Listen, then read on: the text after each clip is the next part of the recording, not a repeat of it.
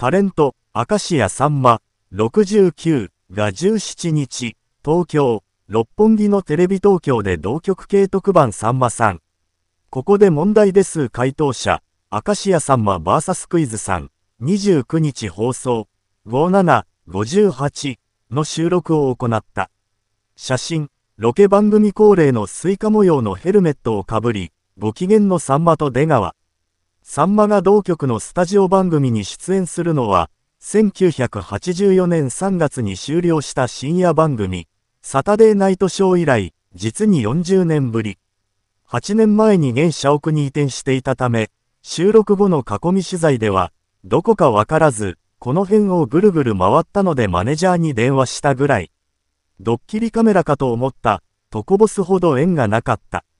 さんまは2014年に爆笑問題のラジオ番組に出演した際、2年半にわたり司会を務めた、サタデーナイトショーが同局の全番組でトップ視聴率を叩き出したにもかかわらず、お色気番組だったために打ち切りになったことを告白。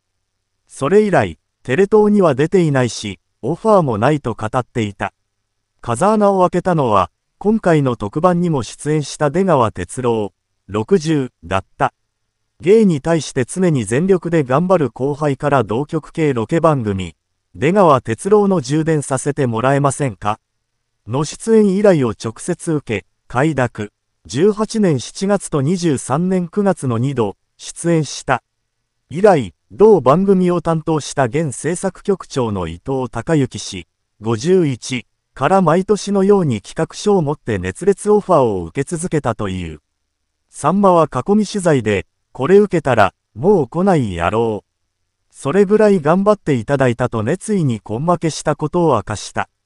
今回の特番は、さんまが唯一の回答者となって出川や麒麟、川島明45、霜降り明星、聖夜31、ヒコロヒー34らが出題する問題に挑戦するクイズ番組。2時間特番だが、収録は盛り上がりすぎて、予定をはるかにオーバーする5時間にも及んだ。出川は、さんまさんは1問目からびっくりするぐらい喋って、最後までテンションが変わらなかった。